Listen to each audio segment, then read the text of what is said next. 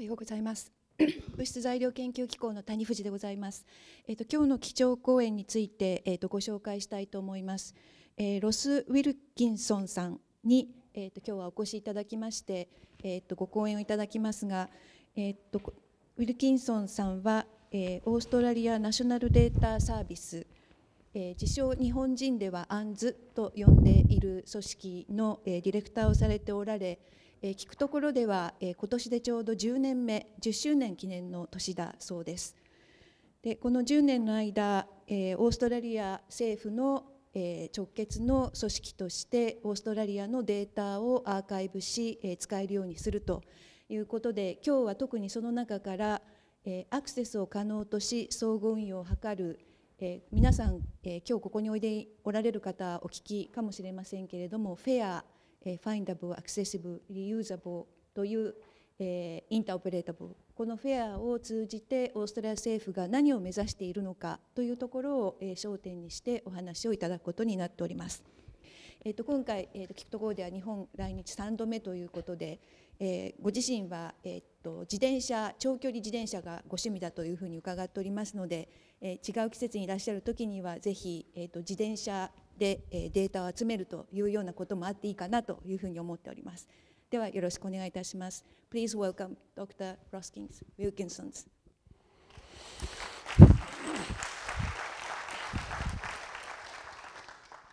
Ohio gozaimasu. Um, thank you very much for the opportunity to speak to you. Um, I'm afraid I do not speak Japanese, um, and you probably don't speak Australian. Um, so if you have concern and I have been not clear, um, just signal, wave to me, and I will try to be clear. Um, thank you very much for the opportunity of visiting you and addressing you today. Um, th- thank you, Professor Ogasawa, um, Professor Kitsuregawa, uh, Professor Umezawa, um, a- and thank you for the kind words of introduction, I guess. Um, they, they probably were very nice, I, I don't know. But let me talk to you a little bit today um, about some research trends that I have noticed. I'd like to provide you with my perspective on the Australian experience with regard to research data. Uh, and then I'd like to finish with some reflections. So, here are some of the trends I see in research in general, um, and then I'll look at well, what is the data implication of that? First of all, and very importantly, is the scale of the problem that the research enterprise is addressing. So the challenges are harder, they're more complex, they're covering wider ranges. There's not, it's not simply possible to go into a single lab and conduct a single experiment and come up with a result and do it again, as was the case perhaps 20 years ago. More often, um, there is an expectation of research that will address problems o- of greater um, challenge to the community. So there's a complexity issue occurring that, that it's not simply bigger. So one of the things that some people say is that it's all about size. I actually think there's a lot about complexity that is terribly important. The doing research for research's sake is, I think, no longer um, something that um, our society is willing to invest in. They want to invest in our research in order to deliver benefit to the society. And along those lines, there's the need for reproducible research. We're seeing great challenges associated with that. So, if the research is going to be used, it's going to be highly reliable. And a response to all of that, uh, a reason for doing open research is that it's a good thing to do, but it delivers value against all of those earlier elements. So we're seeing uh, a drive around the world. So Jeffrey Roberts, uh, um, uh, Geoffrey Boulton, um, in 2012 through the Royal Society put, out a, a document about science as an open enterprise. um, really coming up with the problem of how do you in fact address uh, the age old problem of being able to demonstrate that what you've done, uh, if you like, the, the results that sit behind your findings. How can you do that? The data has to be evidence. So, evidence is more than simply here's the data. It's in a format you can't read, you can't understand, and you can't use again.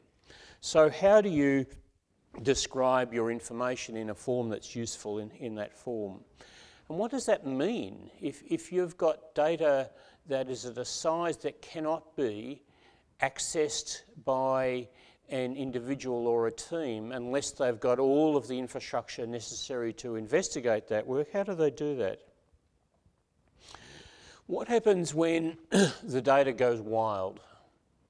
So there's a terribly interesting change that's occurring in health research where more and more research is being done, done where the data is gathered from uh, smartphones and devices that capture data. But there is not quality assurance associated with that data. One has to deal with data that comes in from the wild if one's working in uh, social sciences, much of the data might be gathered by um, means that include Twitter and Facebook. How do you do research when you're using information of that form? Or even you're using field instruments where the instruments are much greater in volume but much less able to be deeply calibrated. So if we look at the global trends, the global trends are saying, well, you need to do research that um, provides sustainable development with equitable access. Uh, you need to build sustainable economies and societies. You need to build in human rights, good governance, and social justice. These are the sorts of things that people are starting to invest, invest in. And now let's turn to a really big problem that exists, which is the irreproducibility of much of research today. The research paper as a output in its sole form clearly is no longer going to be acceptable. Um, the research paper can only be interpreted with the data that's associated with that with the methods that are associated with that, uh, with pointers to the instruments that were being used in that, that context. This little slide shows that the cost of irreproducible research is simply massive. So one might think about doing open science because it's a good thing to do, terribly, terribly important, the reason for doing open science is that it's a waste of money to do it otherwise. So we need to think harder about how we're going to do research in that context. So if we say those are the broad trends about uh, research in general, what are the data trends that are affected by those broad trends? For me, perhaps as more as important as any is what is trusted data in this context? What do you know about the data that has been used for research? What do you know about the data that is the evidence of the research? How do you describe that and how do you format? So the area of provenance seems to me to be terribly important in this context. Next, we need to have the data is open. We need to have it as accessible as is physically possible.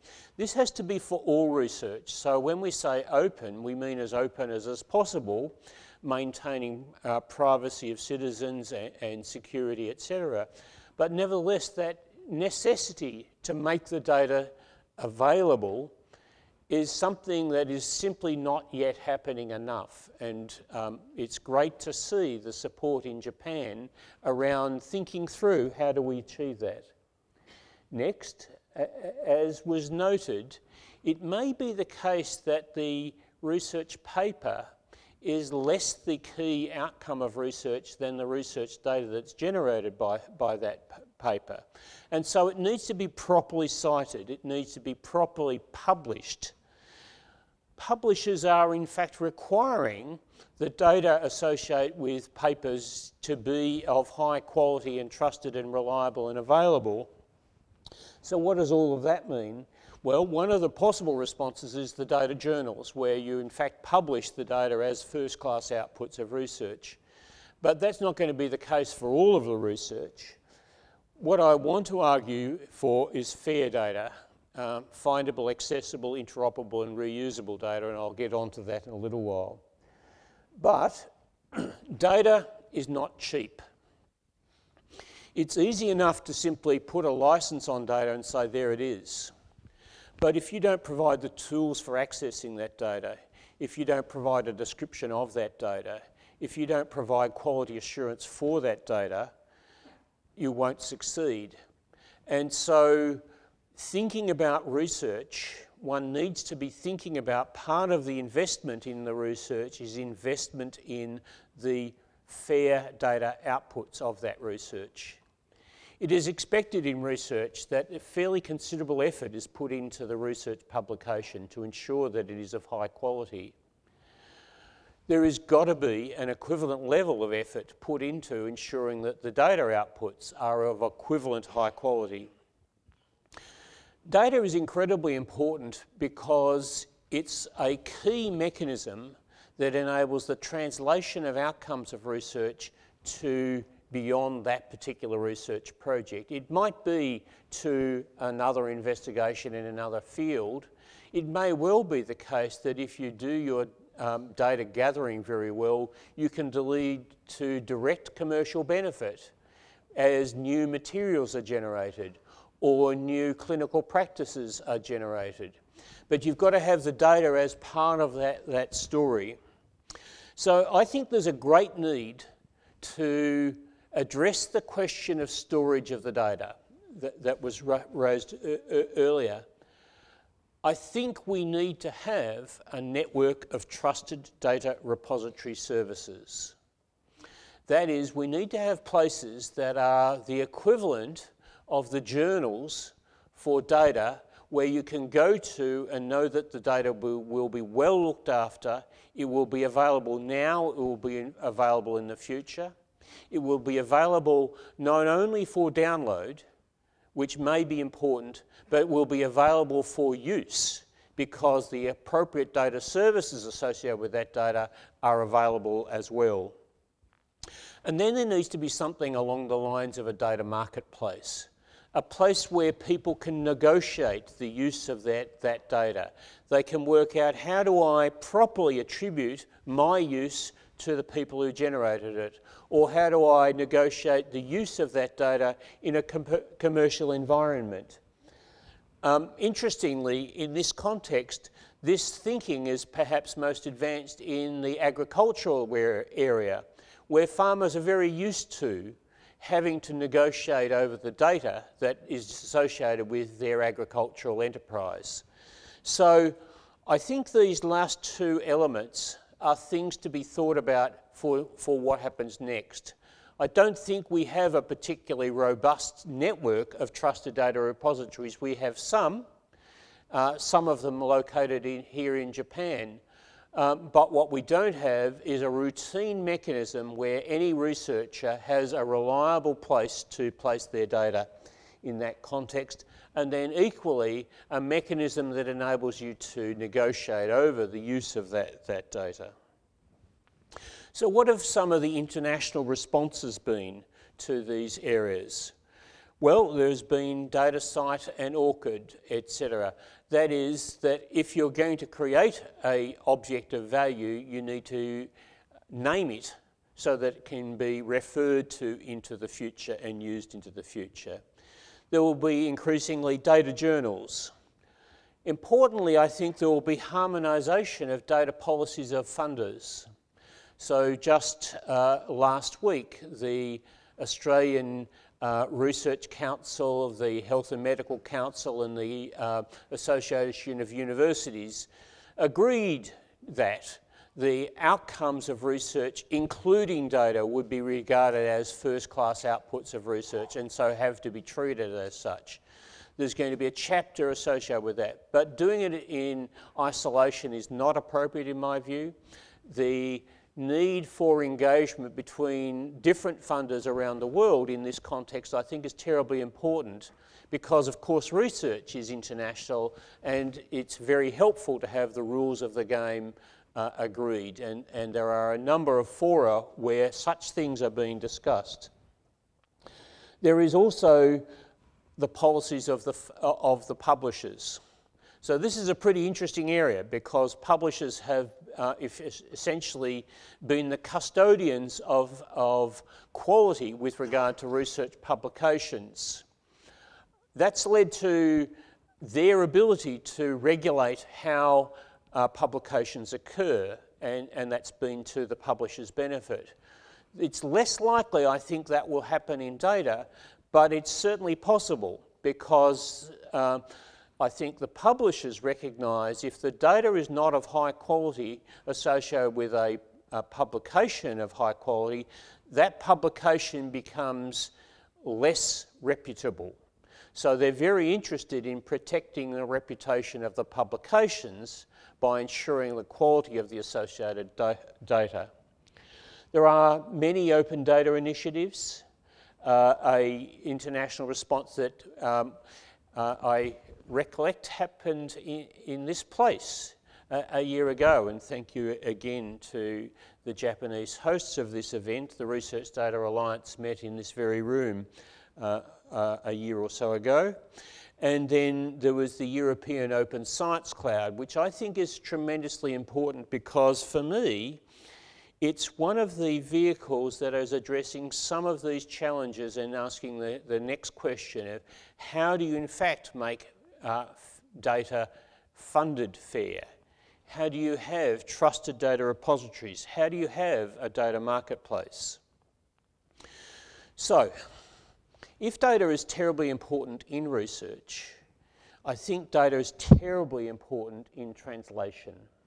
To get the most value out of research, you can't simply put the publication. The research has to be rep reproducible, so the data needs to be evidential in quality.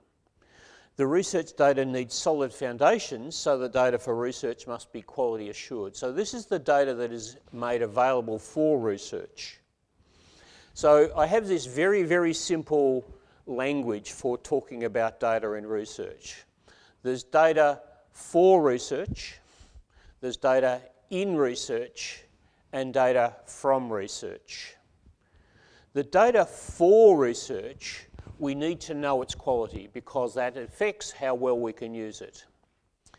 The data from research needs to be evidential in quality. But research data is also a commodity for trust building with collaborators. And so there's got to be a means of engaging in the research enterprise using data to help build that relationship. And then finally, the data has to be not only quality assured, but it has to be available for many purposes because we can't know how the findings of any particular investigation might influence what happens next. But what we can know is if we don't think about those wider uses, we restrict the value of that data. Excuse me. So connectivity is terribly important. This is one where the using the international standard is, is uh, uh, a obvious thing to do and has been uh, occurring here in Japan, I know. The use of DataCite, the use of ORCID, uh, the use of Crossref, etc. Uh, we actually think there's a, a, a, need, a missing piece, which is uh, a research project identifier, and so we're looking to develop something called RAID through the international community, in particular through RDA. Um, data complexity is, is interesting. So this is perhaps my favourite um, data connection story. So this is related to Australia, so a little bit of Australian history. Uh, Australia started off um, many, many thousands of years ago with the indigenous population. Um, in 1788, the British government decided that Australia would be an excellent prison. And so it sent over guards and it sent over people. They didn't need to build walls because Australia is a long way from everywhere. Um, but the people they brought over, the prisoners, were not there essentially as a punishment, they were there as free labour. Now, this is not well publicised by, by our, our British colleagues, but really the idea was to develop Australia as, as a future investment for Britain. And so the prisoners' health was very carefully recorded. The next time the British uh, were very, very interested in Australia was the First World War. Now, soldiers are very, very important if they're healthy and not very, very important if they're sick. So, as it turns out, understanding the health of the military is very, very important. Then Australia became interested in, its history. And so there are many people, particularly people my age and older, who spend time tracing their past all the way back through uh, their involvement in military operations, or indeed, um, if you're able to say you have a um, ancestor who was a, a, prisoner of the First Fleet, this is of high uh, regard in Australia. So if you've got prisoner past in Australia, this is a good thing. So following all the way back um, was quite possible because we had very good health records for early population uh, good health records at the First World War and current populations, and then people connecting all of those people. What that meant was that there was a very, very powerful database that enabled um, health researchers to study um, health trends over hundreds of years and look at particular populations and what the difference between a penal uh, population and a non-penal population and the variations there. So there was a great deal of data complexity, but it enabled health researchers to do um, their particular epidemiological investigations at a much deeper level than was possible otherwise. Okay, so if we need data for research, we want it to be of high quality. And I think there's good news here because it seems to me that increasingly the laboratories that are generating data for research are getting far greater requirements to create higher quality data. So when I go into a health research institute, the quality of the use of the data is quite variable the quality of the data for research is a very, very high quality. So we're seeing that occur. Just recently in Australia, there was uh, a statement around any uh, of the nationally funded facilities that were generating data had to generate fair data. So the idea is you can't simply pour the data out and leave it up to the researcher to determine the quality. There's a strong requirement along those lines. So I think we're likely to see industrial processes around data for research. Industrial, by that I mean a high quality, reproducible, you know the quality you're getting in that environment. But equally, the data that comes out of research can have high reliability homes. So in our social sciences in Australia, there's a very, very good home for data, and this is the case for data around the world. The homes for social sciences data is actually of higher quality than for many of the other domains, and there has been substantial investment in the curation of that data and the availability of that data for use around the world. So we're getting uh, the first part of the equation solved and the, and, and the last part of the equation solved, I think, fairly well. And then I think the European Open Science Cloud is in fact a game chamber, changer. There are many billions of dollars being invested in the European Open Science Cloud. I think for some people, this is an investment in technology. But I'm very confident that the European Commission and the member states are not investing in a technology called the European Open Science Cloud. What they're investing in is a new way of dealing with data and a new way of delivering value from research to the wider society. I think the Research Data Alliance, again, thank you for hosting it, is very important. It's there to enable the bridges to be built, but in a lot of ways, I think it's simply a place where people can come together to get, develop an agreement. That ag agreement might be within a particular domain, it might be across domains, it might be in a particular field, etc.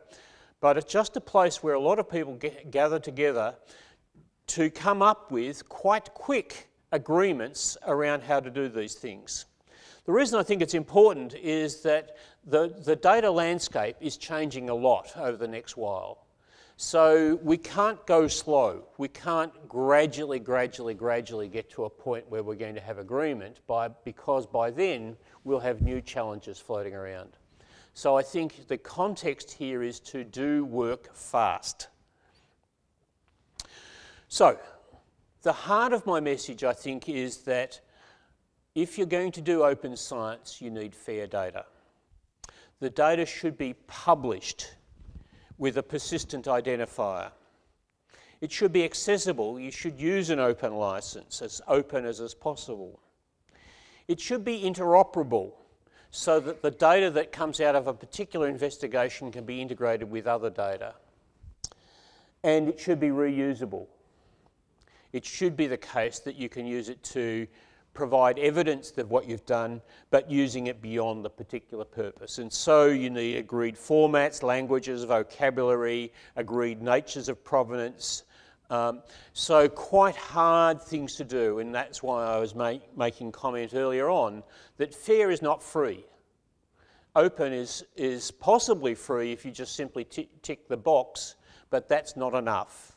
If you're going to do open science, you're open to everybody to investigate, and that means the data needs to be more than simply available.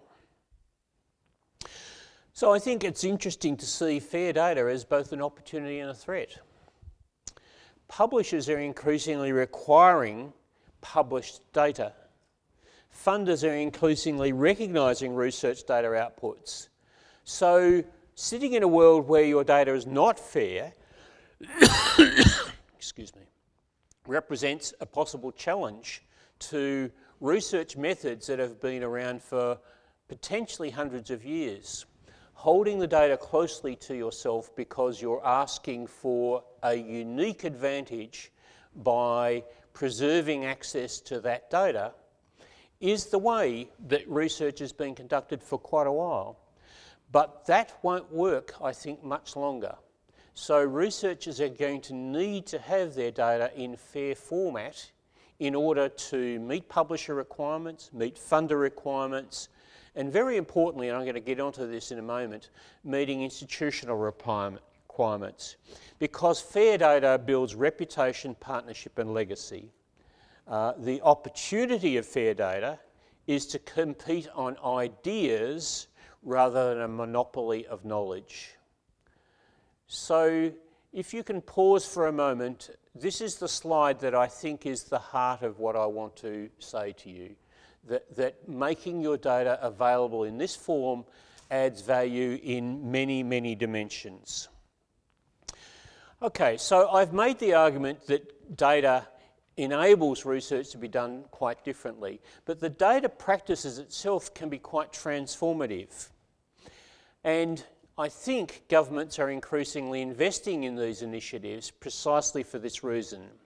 They want the investments to be done to enable society problems to be addressed. This requires the data is in a wider form. And I want to give you a little bit of a, a, sense of, well, what happened in Australia in this context because it's been investing in this transformation for 10 years now. So there was an investment called the National Collaborative Research Infrastructure Investment, which said, well, we need to have infrastructure that supports research but is not research. And I think you have a, a similar way of thinking about things in this context. It's been stable for 10 years. It's recently been announced for another 10 years. Uh, there's $150 million per annum being put into this, and that's been varied up and down, but it's never actually gone below that. It invests in collaborative infrastructure, both physical and data. It recognised as an early statement that data itself is infrastructure. That is, data is part of the tools you do use to do research. Uh, it was separate from the research funding. There were substantial national uh, assets created, and then $20 million has been spent over the last 10 years on data and collaboration services. This is more than ANDS, that's been about $10 million, but ANDS and uh, our partners about 20. So what have we been doing nationally? Capturing data that's of very high value over a long period of time. Supporting the storage of the data, supporting the management of data and the enhancement of that data. The important thing here is that what's being done nationally is tiny compared to being what's done at institutional level. This is always the case that the bulk of the investment is through the research domains themselves, but nevertheless very important. I've had the opportunity of leading the Australian National Data Service for the last 10 years to make Australia's data assets as valuable as, as possible. So rather than thinking of this as a data management investment, it's a data asset investment. How do you make the, those assets valuable to researchers, to the research institutions, and to the nation? So that's why the investment was made. And early on, we characterised this as we needed to ensure that data didn't sit in little isolated cells, that it was collected it was managed, it was connected, it was findable and reusable. And of course, this is a precursor to the notion of FAIR, findable, accessible, interoperable and reusable. So the core ANDS activities included data management, policy support, um, community development because data is essentially something that you need to have a lot of cooperation around, you need to have skills. An important element there was to develop professional skills. So what we took to be the case is that you can't teach every researcher in the land all of the relevant data skills. It's very important to have a professional cohort of people with data engineering skills, uh, data curatorial skills, uh, data analysis skills, statistics, etc. So you have a wide range of professional skills available to ensure that the researchers are able to use the data as effectively as possible. Research institutional engagement was fundamental. So we thought that the data that is being generated in research will by and large sit at the institutions and be generated by the institutions. And that's where we needed to work hardest. We couldn't do that just in Australia, we had to do that internationally, and we had to start publishing data. That didn't mean storing data, it meant saying that there's a persistent identifier with it, it's got a custodian, it's got some rights management, and here's where you go to get it. So what we did was we started to build up this, this system where we were saying much of the work will happen at the institutional level and we'll start building up a data um, area for data publishing and then we started to increase the quality of the data through metadata storage.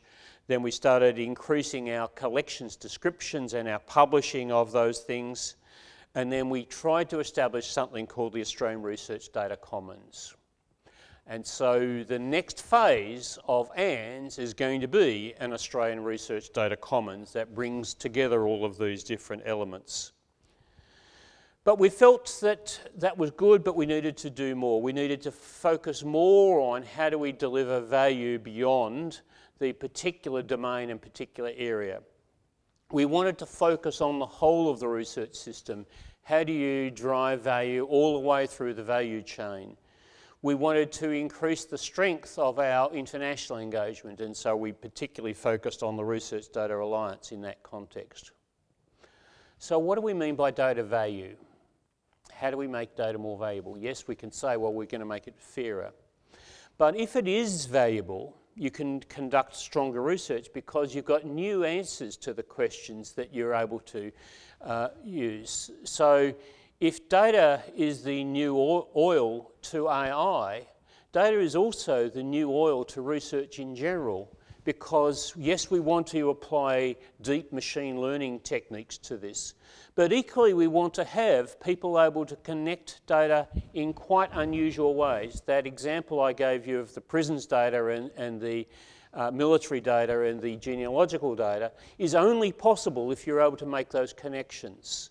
So we need to be able to do those things more, more effectively.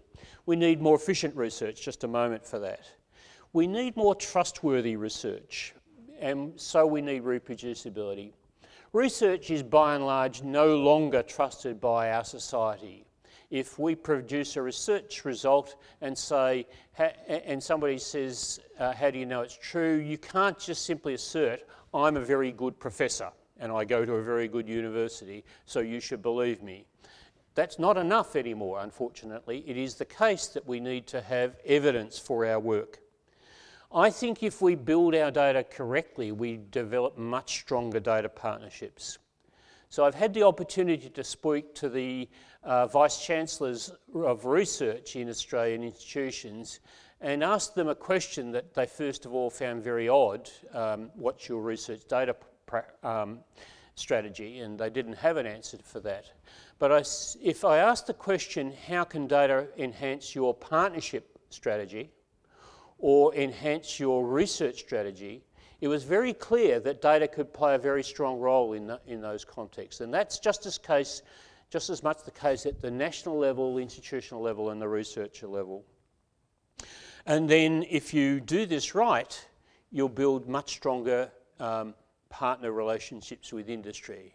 And I was having a conversation just this morning about how in material science, NIMS is trying to drive an agenda that builds a stronger commercial relationship using data as, as the force there. And then we need to work together internationally and we need to get the right partners in that context. I hope it's more than G7 just because Australia isn't actually G7. But so, data is more valuable if it's fair. Publications are reliable means of making information available, and data has to be reliable. It has to be made available reliable, reliably through these reliable data repositories.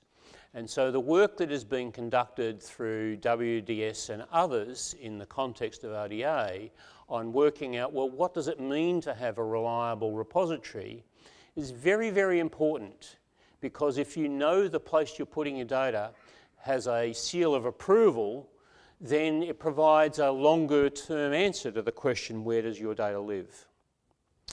We had a report done um, by an economist on the value of open data, which we found to be of enormous interest ar around the world. And really, it was saying a very, very simple message is that if you make your data openly available, it gets used more. That's obvious. But if it's used more, the use of that extra, that extra use is of high value. So you move up from one or two uses to potentially many uses of the data. And that can translate to billions of dollars or yen value in making that data more available for, for more use. So there is a gap though, because research data can be a trust builder, it can be also seen as a, uh, a, a, a commercial advantage. If I keep my data secret, I can sell my secret knowledge to a industry partner and get value that way. But on the other hand, if what you're selling is your expertise in engaging with the partner, then there's a potential uh, gap to be bridged. Research data infrastructure is nationally and institutionally based, so that's good, but how does that actually translate to value straight down to the researcher? Because there is a gap, I think, for, between the value to the research system and the value to a researcher the rewards for making moving data from simply it's sitting on my file system to here it is sitting in a trusted repository with all of the characteristics that I've described, what's the additional incentive for the researcher and the research system to get it into that, that level?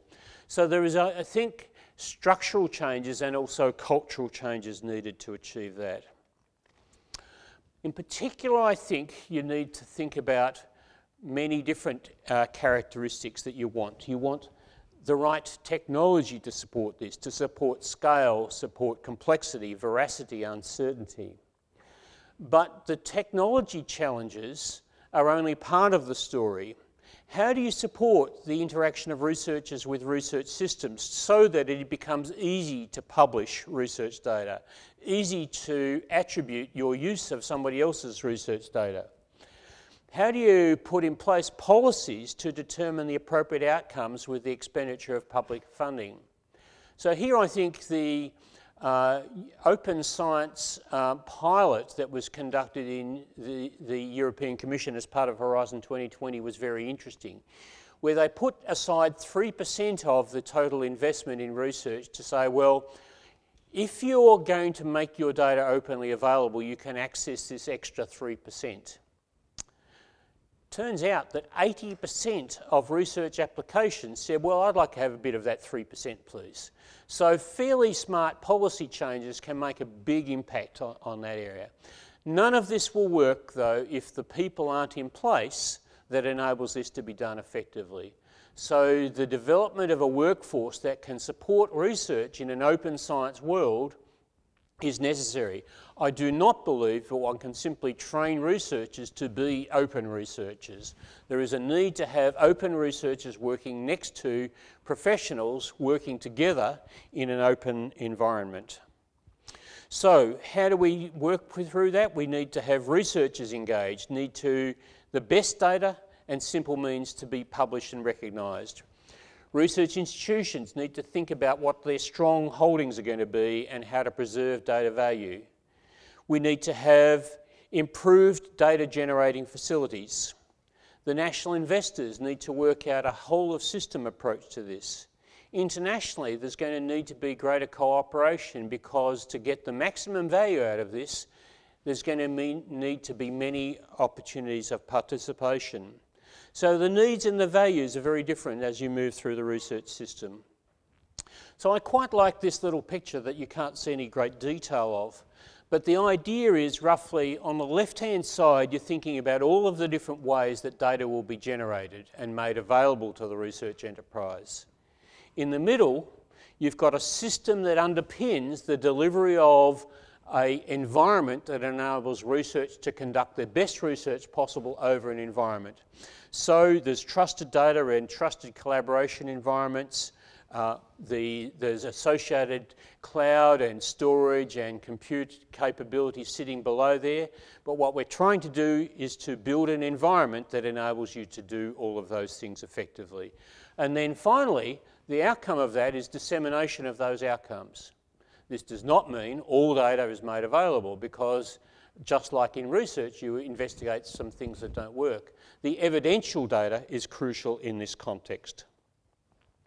So, the achievements to date um, a research data commons has been established, 100,000 collections have been generated.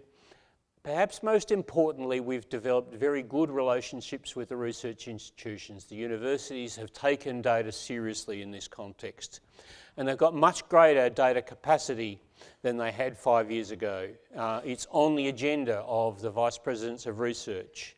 Uh, Australia, I think, has some very good research infrastructure in place now, and it had the opportunity of participating in the Research Data Alliance.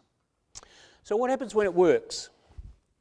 We um, worked with some uh, astronomers who were based in an organisation called CSIRO in Australia, and they'd had the problem of people keeping on ringing them up and asking for their data, and it was annoying. Um, so what they did was they put in place a, a, system that enabled them to publish the data. The data was easily downloadable and they got much greater impact from their research. In northern Australia, there's a university located in the tropics, and it said it wanted to create a network of tropical universities and tropical research.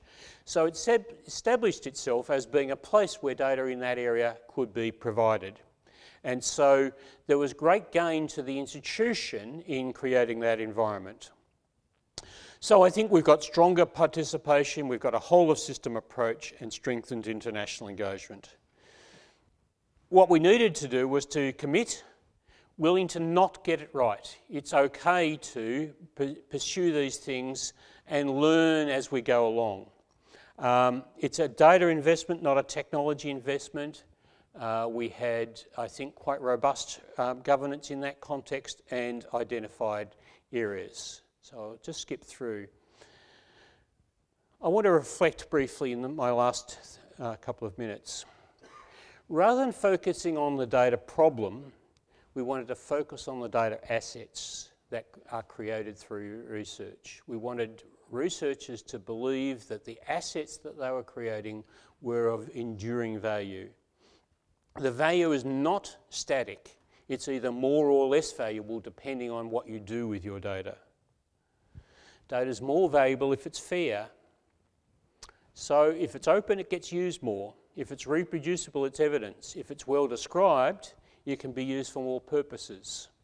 So make the data as open as is possible. Data is not a technology only, ensure that a good workforce is in place, good policy in place, good process in place, ensure that technology supports the best uh, behaviours that are being desired. Research publications are trusted. There is a strong mechanism around that. Um, peer review is an important part. We need to have trust around data just as strongly. That work is underway I think um, Japan has already made in initiatives in this regard. We need to think harder around how we might uh, make the value of trusted data increased in the research system. So in conclusion, the value of fair research data in open science is very high. The value is different for researchers and institutions and the public, so we need to balance those things we need to get uh, the right mix of policy and skills and technology together. You cannot achieve these things through just one of those. And I think it's very important to establish the international partnerships that make those things possible. Thank you.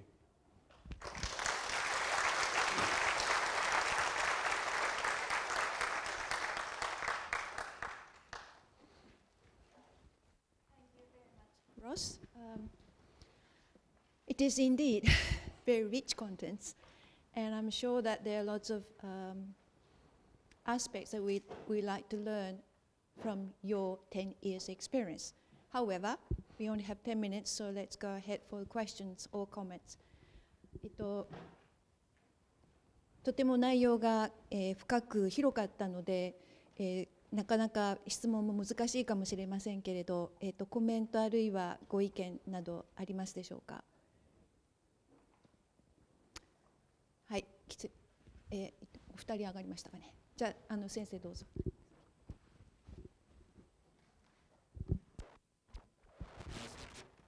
Thank you very much for very uh, exciting talks. Uh, maybe uh, there are lots of audience questions, but uh, my question might be one of the most simple ones. You mentioned about uh, 20 or 30 million Australian dollars for the data part. I'm not sure whether that is sufficient or not. I mean, actually, there might be lots of debates on how much money for the real research, how much money for the data infrastructure money.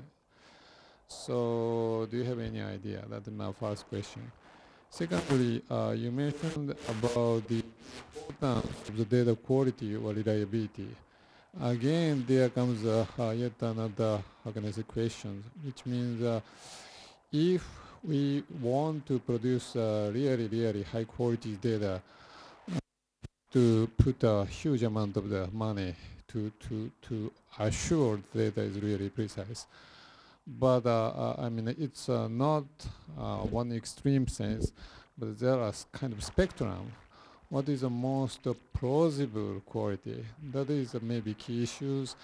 And I think now we are in the stage not for the pragmatic areas, we have to say somehow more precise way the how the researchers should do to collect the data and so on and so forth. That is one of the most important policy part of the answer. So do you have any idea? That's my two questions. So there were questions there. With regard to the $20 million, I think we spent roughly speaking $5 million on building collaborative environments that enabled researchers to work over cloud environments, um, creating virtual laboratories. We spent roughly $5 million on establishing a layer of storage. We spent the other 10 million broadly speaking, on value of data, making the data more valuable. Some of that was spent internationally. Uh, perhaps a third of that was spent on skills development and partnerships development. Uh, a relatively small amount was spent on creating a publishing service. Much of it was spent on building and buying coherence of research institutional approaches. So if you just create a national system and you have separate institutional systems, it's not natural that you'll get uh, coherence. And so in some ways we invested in coherence. Uh, another way of describing investing in coherence is that we bribe the institutions to do it in a national way. Um, so as long as you can go along with an institution with a check, you can have a conversation. On to your second question of, well, if we make all data fair in every possible dimension, the budget doesn't exist for that. I think that's absolutely true. I think this is where the skills of the archivists are going to be terribly important. Archivists are used to asking the question, how long should I keep something?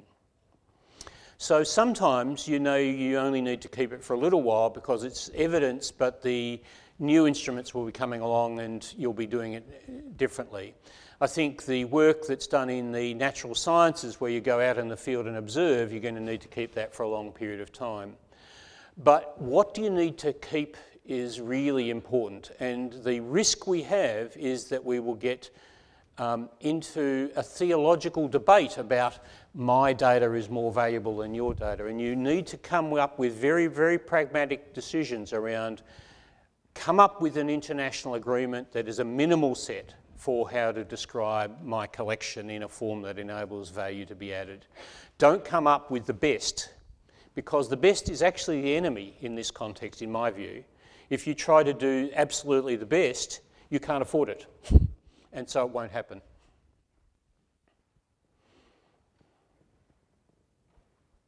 So that researchers should value and choose the best to them. That's right. And I think in that context, if a researcher has an information professional as their partner, they're much more likely to make that decision well. So the other element to this is don't ask researchers to do things they don't do well. You know, they're excellent innovators, they're excellent investigators, they're not actually excellent long-term preservationists. So ask professionals. Like ア you. ーキュビスト。OK えーとアーキュビストというお話がありました。はい。えー会場一人。えっ、と。 Thank you for the uh, exciting talks. The I have the uh, uh, uh, uh, uh, the uh, uh, few questions about the data format or data structure. The I'm the Achikyo, the uh, the National Institute of Material Science NIMS.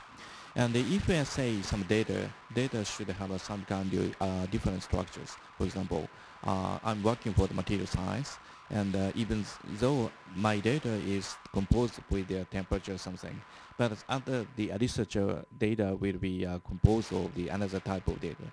So if I say data, each data has a different structures. And uh, if I say correct such a confused data, uh, in some case we are going to the confusion. Uh, therefore, in some case, in the worst case, maybe data has no meaning for us. So do you have some, in your hands, do you have some the policy in collecting uh, such a data? So our standards. So the best thing you can do within discipline is agree within discipline about what to, to achieve. Of course, the value may well be beyond discipline, and then you'll need to come up with agreements between people who aren't in your own field. And so sometimes it's about doing these things in the domain and getting the maximum agreement possible. Again, going back to the earlier comment, introducing the maximum possible value of that data might be so high that it's not actually achievable with the budget. So there's always this balance of getting as much value as, possible within the price that's being will, willing to be expended. We've always felt that Australia does 2% of the world's research, so we can't afford to come up with agreements that are just Australian. That's, that's pointless. So for us, it makes a lot of sense to come up with an agreement that makes sense for us. So we have used international bodies, sometimes the Research Data Alliance, but sometimes in oceans research, there's been marine engagement about, well, what's a, an appropriate standard for that area. In, in materials, you're probably, uh, I think, ahead of the world, so you're in a very good position to work out what international agreements would be. What I'd encourage you not to do is come up with a Japanese only answer, because that will uh, optimize what happens in Japan and potentially isolate.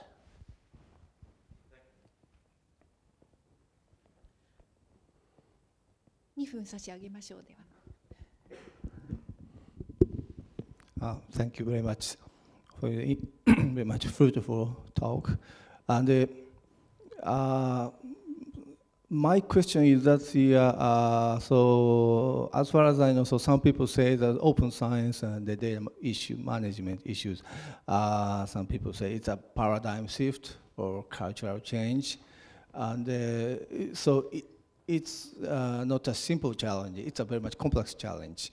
And uh, as far as I know, so one aspect in Australia or Europe, Europe, um, UK or, or Germany, some so leaders in a society or leaders in academies are understanding that how open science is important and how the science, how the way of the conduct of science need, needs to be changed. Uh, it, it's really important in uh, so social aspects of this change.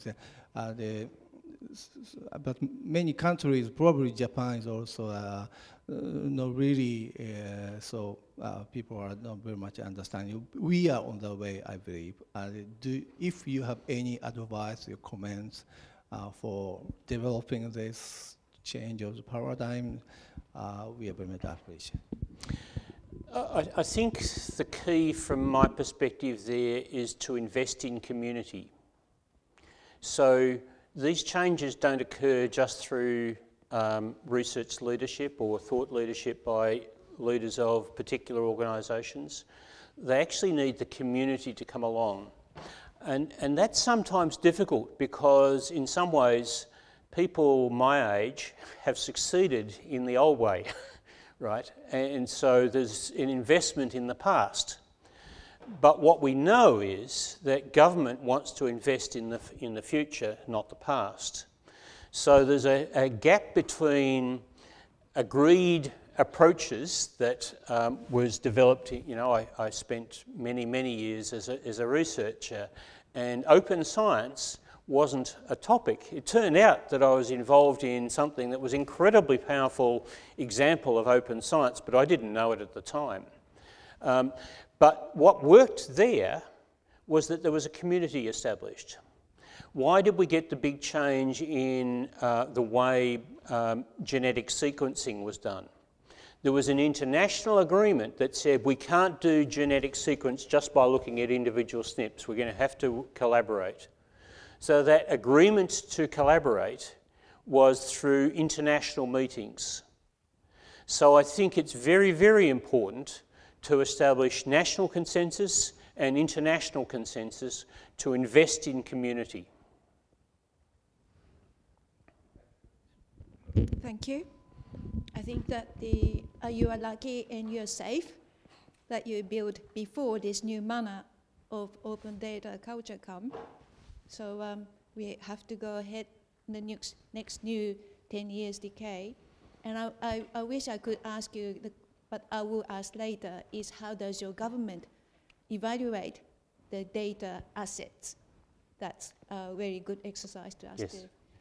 えっと、そのデータの、えっと、ストーレージをするインフラの話だけではなくてそのか価値をどのようにあるいはドメインごとの違う価値をどのように平均的に、えー政府の支援を受けながら、えー推進するかということそれから、えそれをさらに発展してドメインごとに使っていけるようなデータアセットバリアブルという言葉ありましたけれども、えそれは、え国際シーンの中で、え連携を通してさらに深めていくということの、えいくつかの、えお話をいただいたのだと思います。で多分あのかなり早かったのであの私自身も全てを理解できなかったので多分あの後でスライドを皆さんと共有して、えー理解を深めていければといいのではないかというふうに思いました。ではあの again thank you very much.